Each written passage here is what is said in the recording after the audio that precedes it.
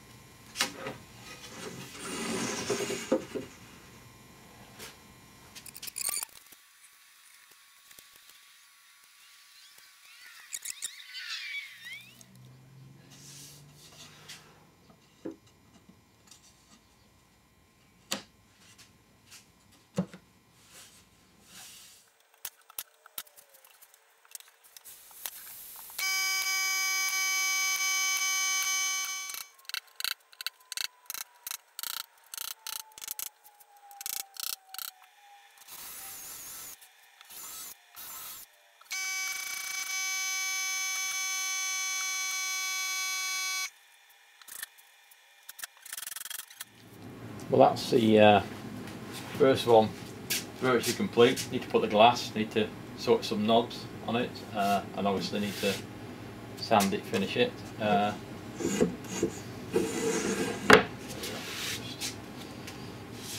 got to finish the base off as well, uh, but can't do that until uh, I've done the next ones. But that uh, is about it. So uh, I'm going to do the base stand next before uh, I crack on and do the other two or maybe three cabinets. So uh, stay tuned.